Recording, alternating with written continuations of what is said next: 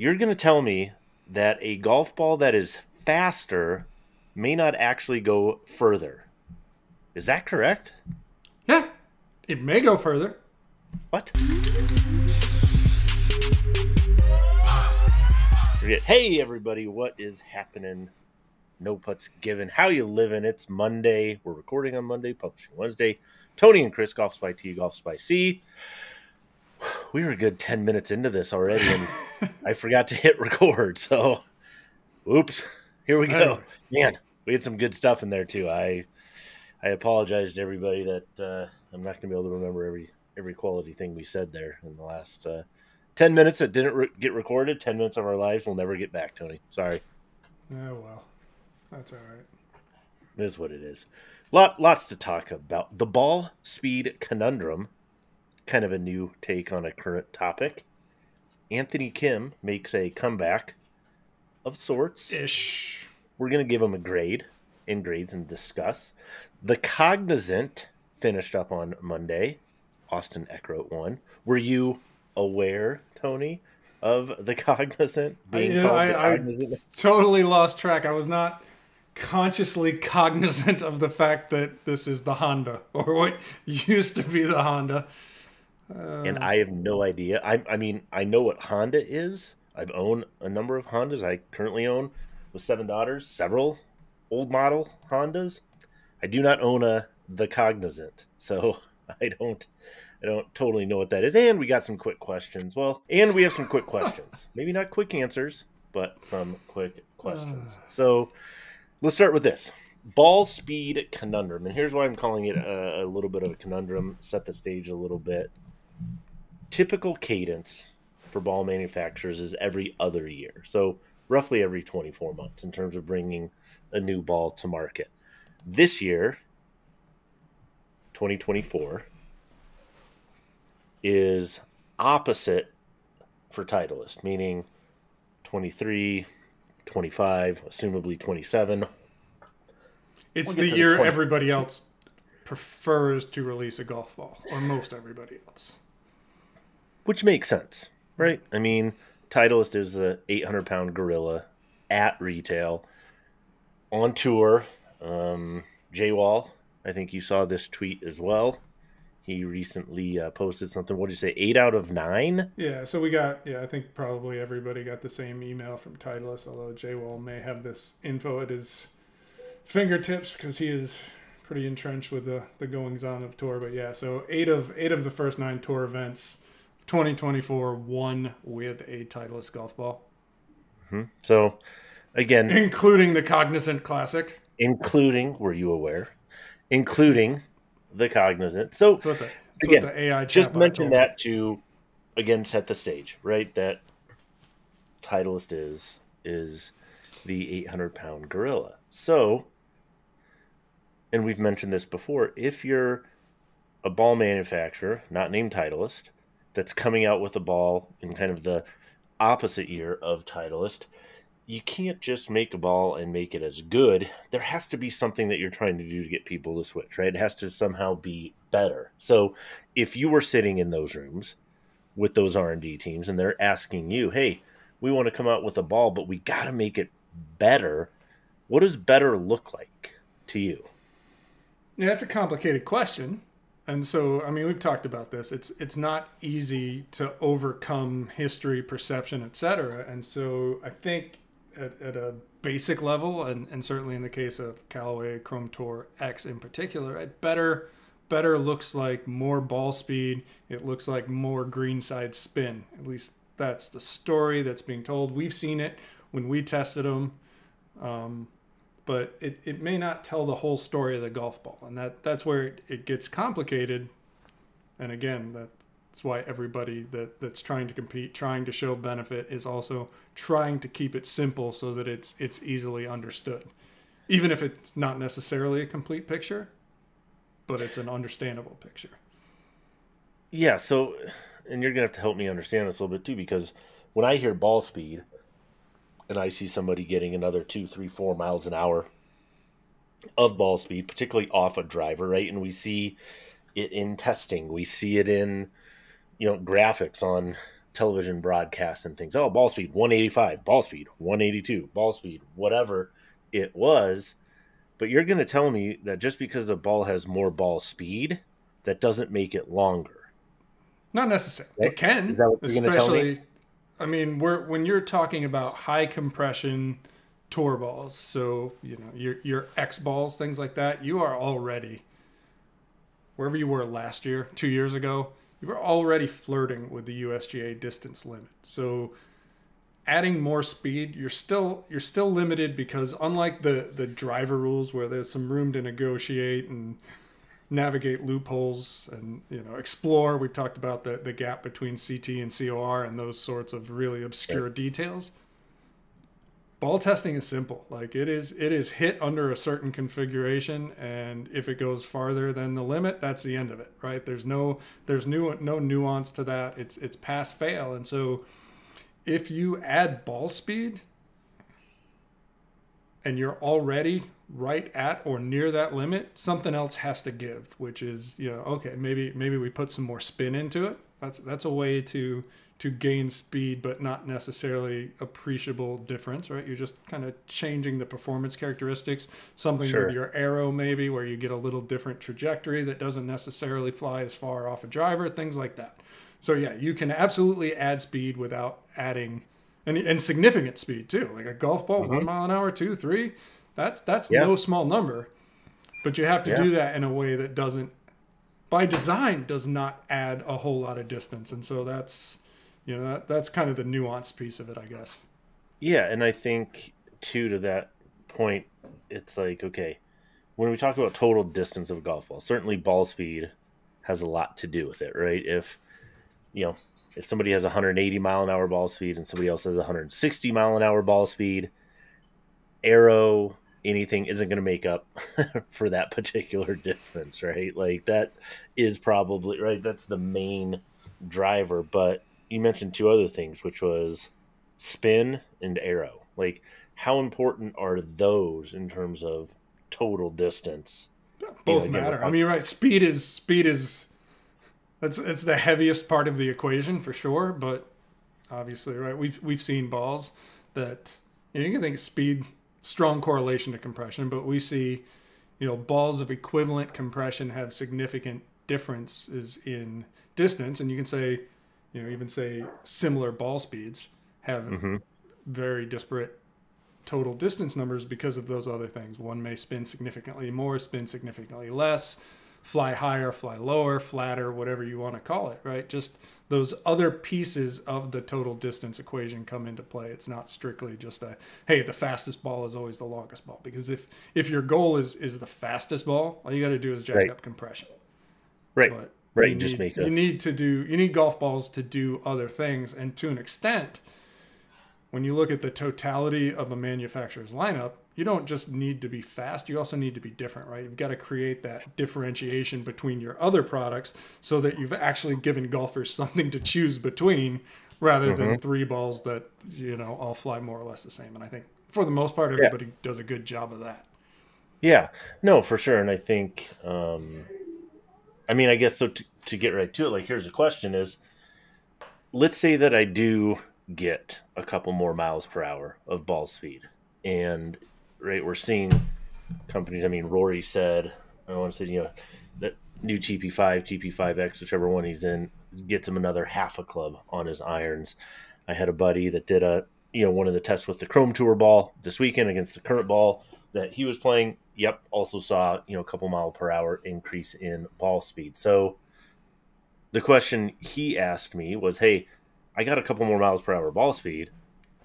Should I switch?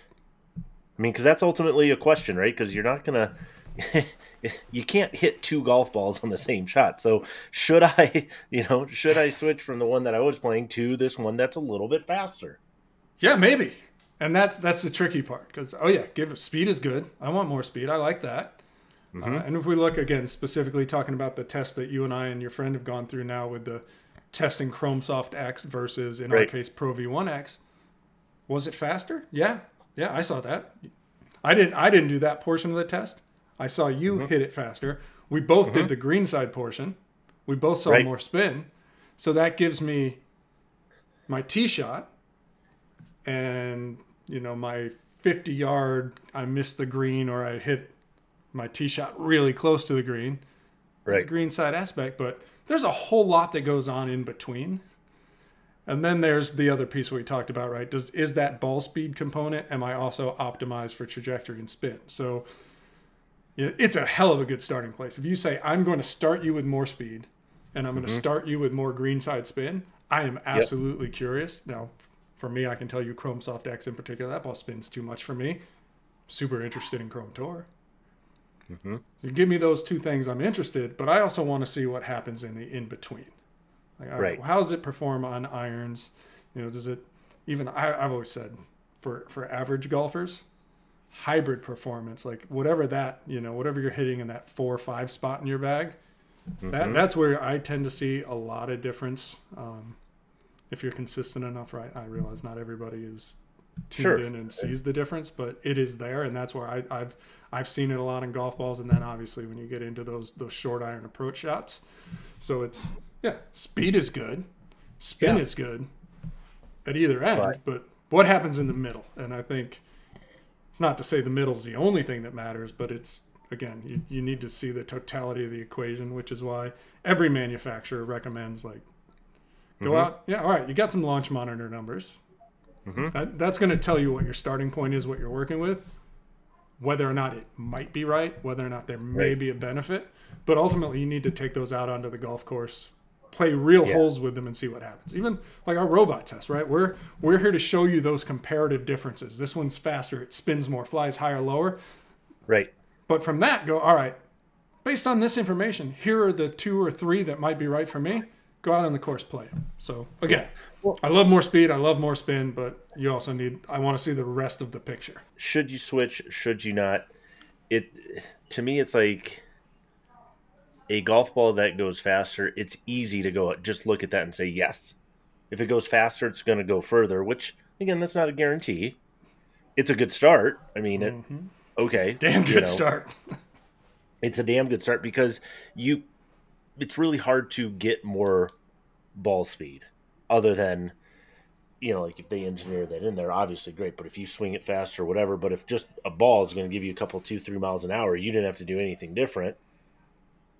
It seems to me like it would be hard to lose that throughout the rest of the bag. But the other piece we didn't even get to yet is manufacturing consistency. Am I going to get that ball speed and that performance on every shot? And I know, you know, we haven't had time to look through that in Ball Lab yet, but what's your you know current state of affairs in terms of running balls through ball lab and that kind of stuff? Yeah i mean there it's in process. So rob is is our ball lab guy now. We've got we've got callaway i think probably into the second dozen. So you know as as most people know we space out those orders to make sure that we're not just pulling from three dozen that were manufactured at basically the same time. So working through those tp5s have been ordered bridgestone has been ordered so it's in mm-hmm. process mm-hmm. and, and we'll have all that pretty quickly and i'm i'm for sure interested in seeing what we find um, especially like we've talked about the callaway story for years and the quality and, and how we have seen that steadily improving and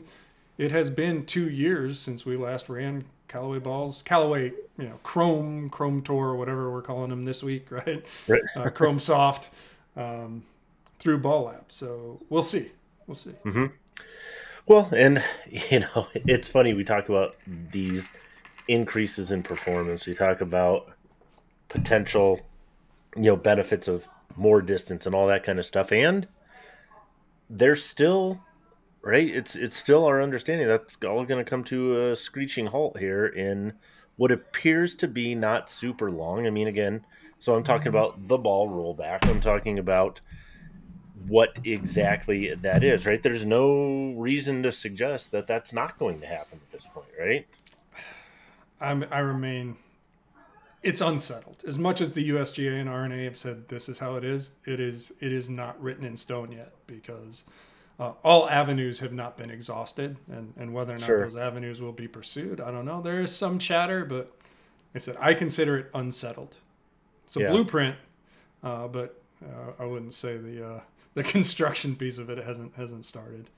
Yeah, and we're gonna. I think you're gonna specifically dive into more of actually trying to quantify what this would look like for golfers. Like we haven't really gone down. Everything's been theoretical to this point of, hey, you're to lose X, you're to lose Y. Well, what does that mean? What does that look like? And to actually be able to give people some kind of, you know, a reasonable picture of, okay, well, here's maybe what that would look like for me.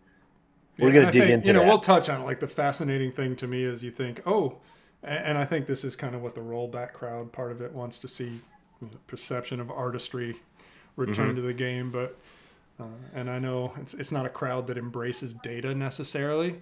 Uh, right. But when you run the numbers and look at it from a stroke, strictly from a strokes gain perspective, what those what sure. that data tells us is that the rollback in in one sense has the opposite of what has been said to be the desired effect. That is, it's going to like, hey, distance is is too important in today's game. We need to dial it back, right?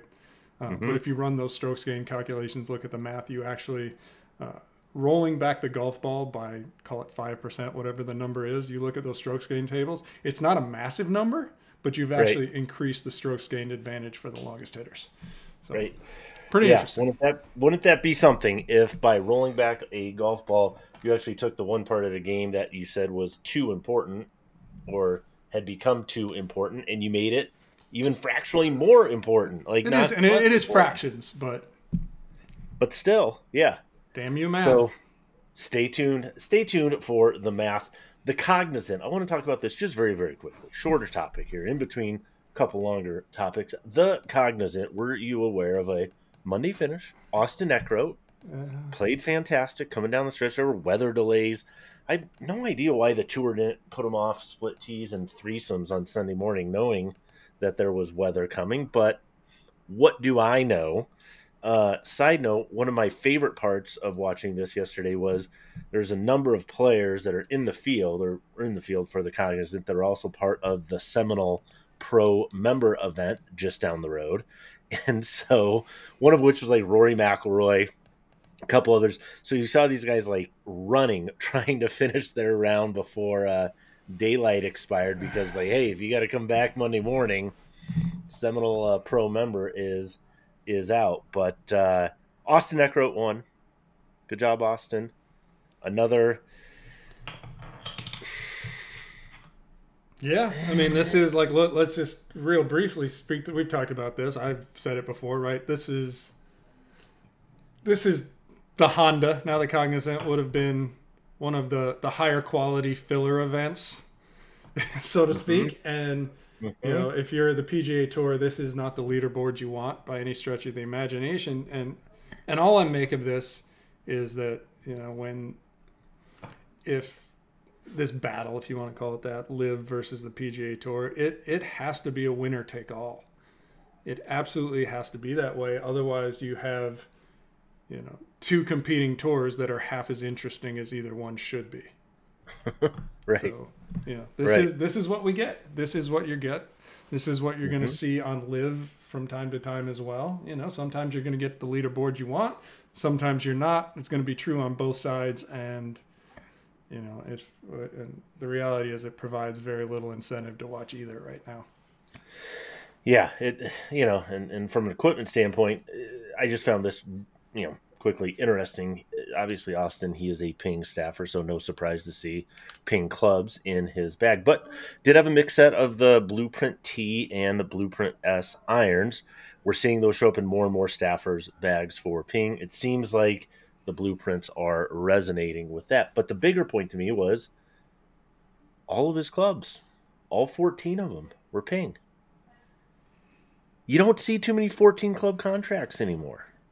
No, and it may not be. Right? Like I don't know as for sure is it 14 or he just likes all 14.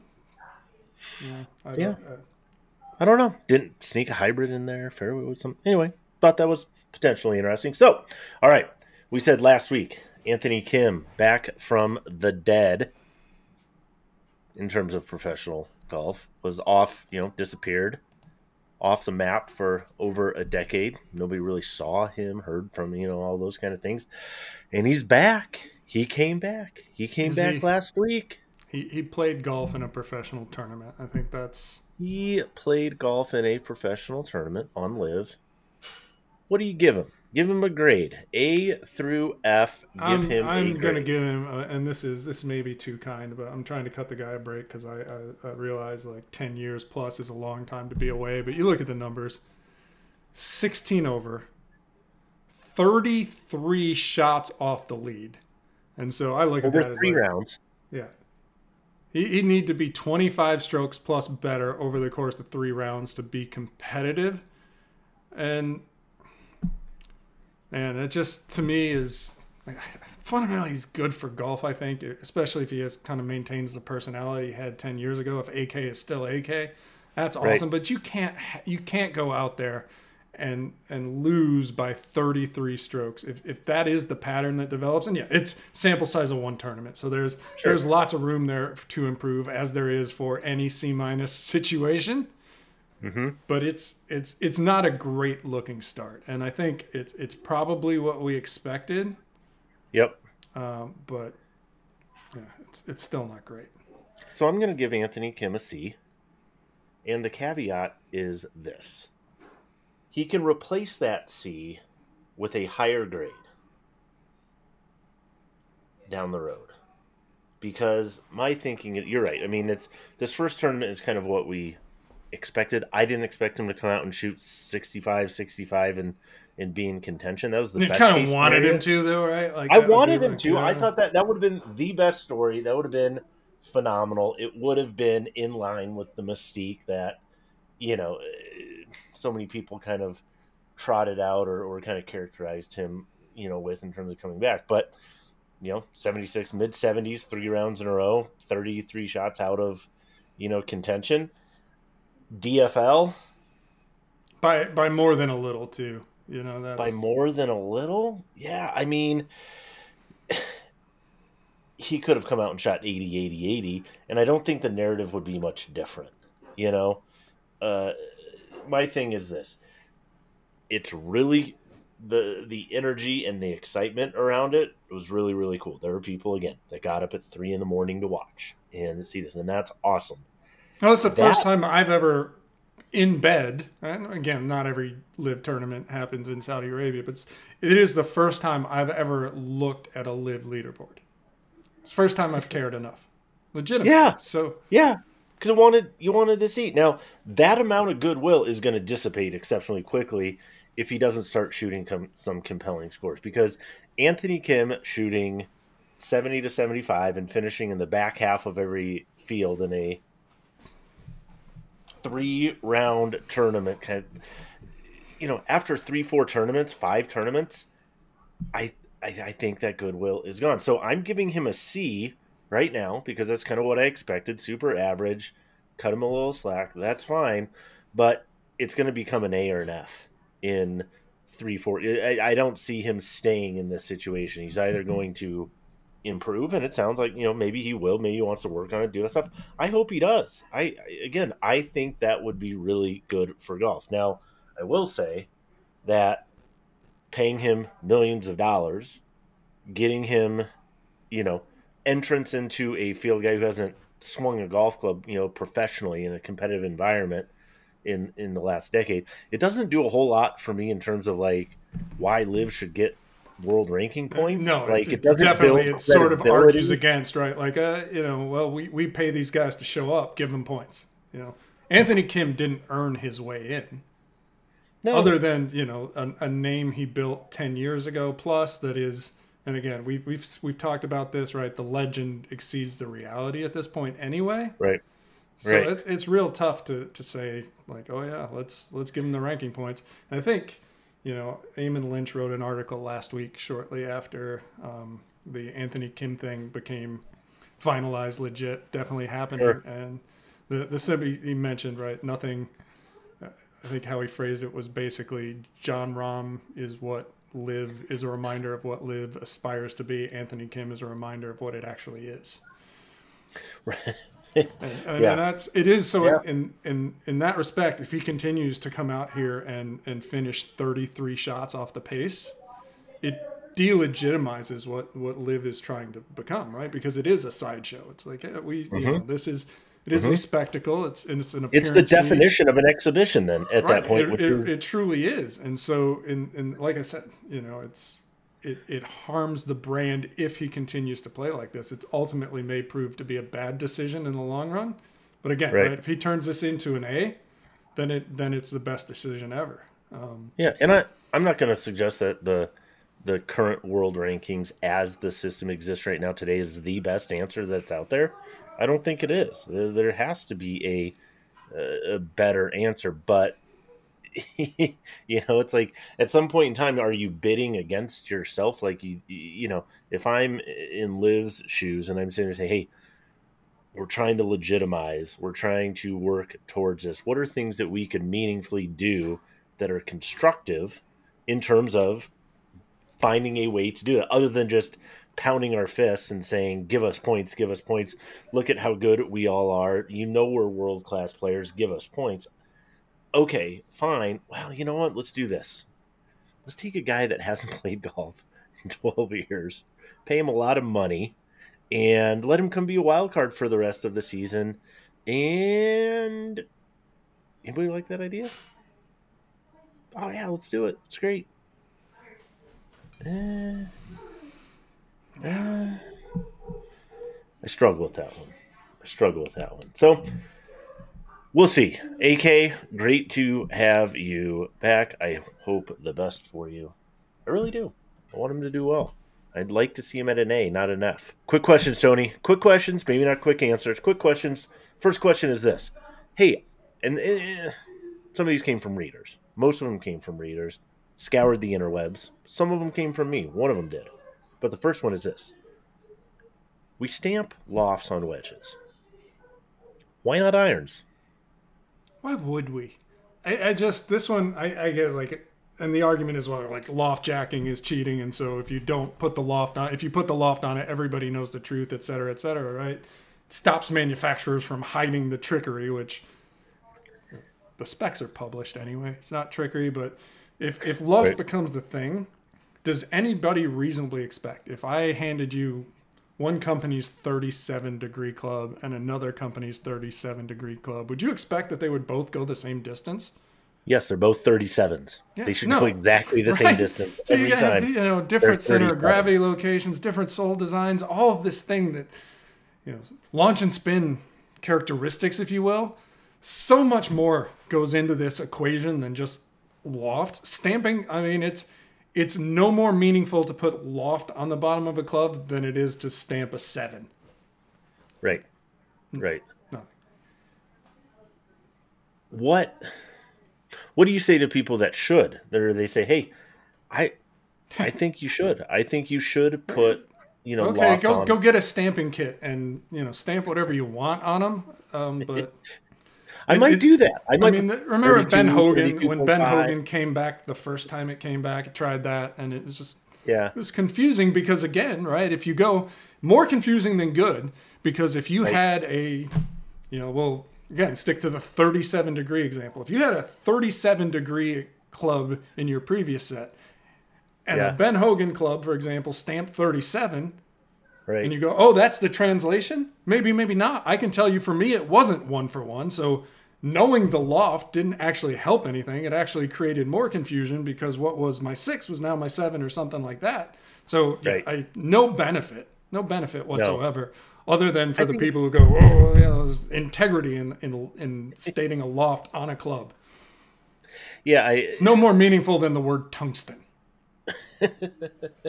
tungsten if and you know if tungsten's in that club it's probably stamped or laser engraved or on there somehow. They manufacturers want want you to know. Tungsten. There's, tungsten, there's tungsten in here. My two thoughts on that. Number one is you think about like players starting the game. Like you learn incrementally hey this is what you know like the the one time a year my wife will go out and play golf be like hey do i use my seven or my five or my nine or my you know seven or whatever it is. Use your thirty four. Like, exactly. So not only is it twice as much information, you know, nine versus hey, use your thirty four, it doesn't communicate it nearly as well. And so then you grow up like that or whatever. It's like, hey, that's what you're used to. Three, four, five, six, seven, eight, you know, whatever the case is and the other thing to me is the stamped loft tells such a little part of the story. You know, it doesn't tell the anything about the CG location or the dynamic properties. I just want to know what that club does because of the material it's made out of, because of the size of the head, CG position, so on and so forth. Like you said, this would be kind of a really, really cool thing. We, we could take two, you know, take two seven irons, right? Both at exactly 32 degrees of loft in entirely different constructions. You know, like you could take, like we did this a little bit with uh, with Titleist. Imagine taking a T350 and a muscleback at exactly the same loft, and let's see what happens. They won't go the same distance. They will not. Do you know what will happen, Tony? What will happen? That 350 is going to go straight up in the air, and who knows? I mean, it, you know, it's gonna yeah, because it's designed to uh, get the ball in the air, right? And and uh, and who knows? Who knows? All right, next quick question. Joaquin Niemann, he is the one that won this week on uh, on LIV, the AK's comeback. The, the dude's on a heater. so He's into grieved. three of the four majors poor, this year now. Joaquin. He just, he just stated oh. that he's into. He got an exemption, I guess, into the PGA Championship as well. The only one he would theoretically have to qualify for now is the U.S. Open, but he sounds like to me almost ungreat. I I don't know. What's your? I, I've never heard somebody who who not only got paid a ridiculous amount of money to do nothing. Right? He doesn't have to play good golf. He can finish behind Anthony Kim and still get paid. But mm-hmm. not only that, he is whining about tournaments he's in. like, like, I'm just like, shut the hell up, man! Like, nobody, nobody is saying that OWGR has it right, and you're not better than that number indicates. But come on, you're right. you're you're in three of the four, and and look, we, we've said this before. Like, I don't know what Greg Norman told these guys. It sounds like he made promises. I have an idea. Yeah, you know, like he just kind of pulled it out of his ass that they would be getting OWGR points, right? That was right. that should have never no been assured, right? Yeah. And so, like, look, man, you you can either take the money, the easy money, or or you can you could have stayed on tour, gotten those points, qualified for the majors easily. I'm sure. Sure. But man, like it's I, I've just never seen people who should be and have talked about how great they have it and how amazing everything is and how unsatisfied they are by all of it. So I, you know what, like I'm, I'm solidly in the, uh, you know, shut the hell up. Like, what are you complaining about, right? You got I all think... the money you could ever need. You're playing in three of the four majors. You have a chance. You can still qualify. You can sure. qualify for the other one, and guess what? If you get into yep. that one and play well, you'll play in every other one for the foreseeable future. So it's on you, man. Stop whining. I think, to me, it it sets up for a really really interesting uh, year for him in particular because Canton Ice played exceptionally well. Again, three round tournaments, make whatever concessions you want, but now he's kind of put himself, you know, more of a bullseye, and maybe he needs that to play well. I don't know, but there's going to be, uh, you know, a, an awful lot of focus on how he does play in the major, and should he play really well? like you said, then you qualify for the next one, or it puts you in the next one. You, are exempt based on your how you play. Great. That's I think that's probably what they want. Should he not play well? That's where it could. You know, I there are going to be people who are going to be very quick to. The uh, world to will not be kind.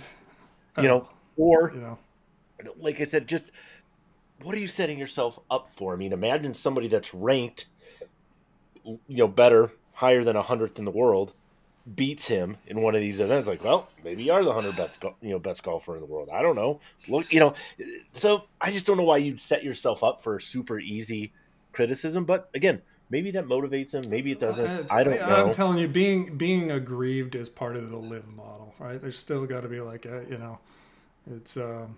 Yeah. All right, two more questions for you take equipment out, take speed training devices out. We've talked uh, and want to continue this discussion of different parts of the golf ecospace uh, or ecosystem that don't necessarily get treated like equipment, but should. Right? So it's like, hey, if there's technology in your driver, there's technology in X. So my question for you is this What would be the first non equipment, non training aid piece of non golf equipment that golfers should look at to improve on course performance? That's a tough one. I mean, I think shoes when you because there, there's a fitting aspect to shoes that that to an extent mirrors golf clubs. It's not, and it it goes beyond. I'm a size nine and a half, so I'm just gonna have a grab a nine and a half, but and I'm fitted. Mm-hmm. You have things like, all right, what is what is the structure of this shoe? Is this is this a very stable shoe, or is this a shoe that's going to move with me? And ultimately, am I the type of the way I swing do I benefit from an ultra stable shoe or do I need something that's going to move and bend? Yeah. You know, like that's why FootJoy, for example, a lot of their models now have carbon and non-carbon models, right? The carbon mm-hmm. tends to be the more stable, the other one a little more freedom of movement. So that's that is a lot of that piece of it is is actually golfer dependent, like like a golf club. So that's I think that's what I like it. I like it. That was going to be my first answer too. There's going to be more stuff coming up. Like, what are other things that are out there that yeah, don't get qualified as equipment, but probably should. What's the benefit of having a correct size golf glove, right? What's the benefit of different apparel, things like that? We're going to dig into that maybe in a, in a, different episode moving on. But last question for the day. This one came from Andrew Burton on the Twitter spaces. He had a quote uh, or a question or a quote that he was given by uh, apparently another pro or somebody out there saying, "Hey, no offense, but you're probably not good enough to play a Pro V1." Yeah, and I mean, the, the is playing a premium ball a function of skill? I guess is the underlying question. So the, the rest of that piece, and it was kind of what caught my attention, was because it's going to accentuate your mistakes. Mm-hmm. And this was one, and, and obviously we weren't in the that discussion we don't have the full context but i so i don't necessarily want to go and just totally rip the guy who said it apart but that's one of the things that right. it does not make sense to me fundamentally and let's let's take price off the equation right if you want to say hey sure. you're not good enough to spend $54 a dozen $55 a dozen on golf balls because you're going to lose so many of them and then it becomes like right. hey is my financial situation such that i can you know, right, pound yeah. Pro V ones yeah. into the woods all day long. That's a different piece of the discussion. Sure.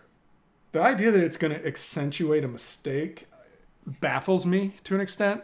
And, and I say that, like, what do we know about the Pro V1, both in terms of performance and, and how it's made, right? Okay, so it's a mid spin, I would argue low to mid spin golf ball. Mm-hmm. It's trajectory, mid again, and and I might even go so far yeah. as to say on the low end of the mid scale. Right. And being a Pro V1, we've got you know we've been looking at these in ball labs for three generations now. I can tell you it is, if not the best, among the very best balls made anywhere in the world in terms of quality and consistency. So you don't have to put too much worry that you're going to have some kind of core or concentricity defect that's going to make it fly offline. So if I'm thinking, what is going to accentuate my mistakes? Mm-hmm. A really poorly made golf ball. And, and quite frankly, a lot of these two piece balls that are supposed to fly straighter are poorly right. made. We cut them open, right. we see the layering mistakes. They're going to accentuate your mistakes because they're going to fly offline because they're out of balance. Right. So that's that's one piece of it. Mm-hmm. Low spin right? It's so it's not going to fly crazy. Yeah, if, and again, if you said you. No. if you said you shouldn't play a Pro V1X because it's going to accentuate a mistake, I'd still be a little bit hmm, on that. But at least I'd be like, I can see how you get there from a performance perspective because it's a higher spinning ball and it flies high. So right. yeah, all right, it's going to stay in the air. It's going to give more opportunity to wander offline. Right. Loosely makes sense um, Ish. Not to the extent that like something that spins like a Kirkland or flies like a Kirkland. That would be one way. Right. Yeah, that's going to accentuate a mistake. Right. A Pro V1 is not going to accentuate a mistake.